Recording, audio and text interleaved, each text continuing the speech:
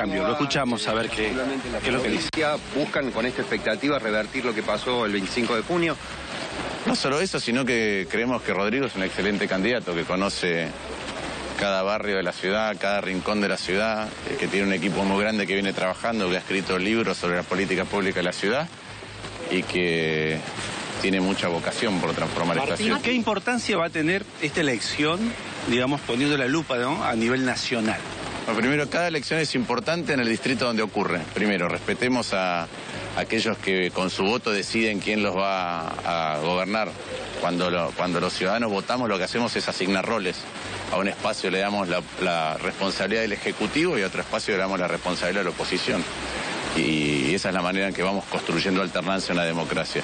Así que para nosotros es importante toda elección, por lo local y después creo que lo que va mostrando Juntos por el Cambio a través de distintas elecciones, como en San Luis, en San Juan, en Santa Fe, en Córdoba, en Córdoba, en la provincia que estuvo cerca, en La Pampa que estuvo cerca, con son importantes para, para la construcción de un Juntos por el Cambio Nacional. ¿Pudiste tomar contacto con Estoy Rodrigo? en contacto todo el tiempo con Rodrigo. Estoy esperando ahora darle un abrazo. Martín, Gracias. hubo baja participación. eh, al menos eso es lo que están diciendo aquí. ¿Usted qué piensa de la No baja participación? no tengo todavía los datos de la baja participación, vi algunos otros distritos, otras provincias donde hubo baja participación, pero no tengo los datos. Sé que hasta, hasta entrada la tarde había baja participación, pero no sé después cómo se comportó el votante en las últimas horas. general, ¿usted cree que la gente está desinteresada por la No, política? yo, no, yo en la ciudad de Buenos Aires no veo eso. Ya lo veremos. Yo veo gente que tiene muchas ganas de dar vuelta a la página y de cambiar las Va a cosas. participar en otras partes.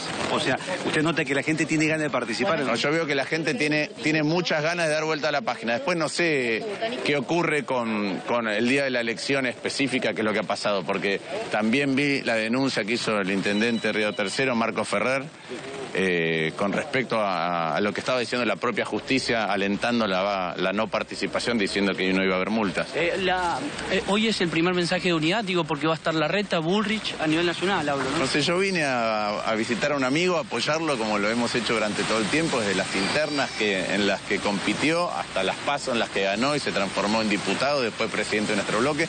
Y tengo muchas ganas de verlo y darle un abrazo, así que si me disculpa. todavía, pero no está, Ah, no está todavía, bueno. Puede hablar Bueno. tranquilo. Bueno, perfecto. Bueno, ¿son optimistas con los resultados? Ahí, bueno, ahí se va. Ahí se va. Martín Lustó lo va a saludar a Marco Ferrer, que es el apoderado del partido. Las eh, declaraciones apenas llegaba del precandidato a, a, a ser el titular de gobierno porteño, eh, Martín Lustó, que ahora se va.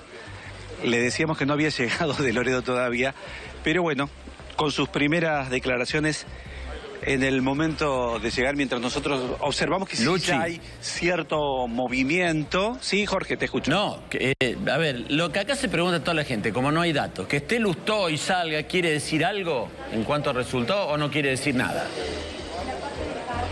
Para mí no. Para mí, digamos, la impresión que me dio, lo vi llegar demasiado solo y como sin datos. ¿eh?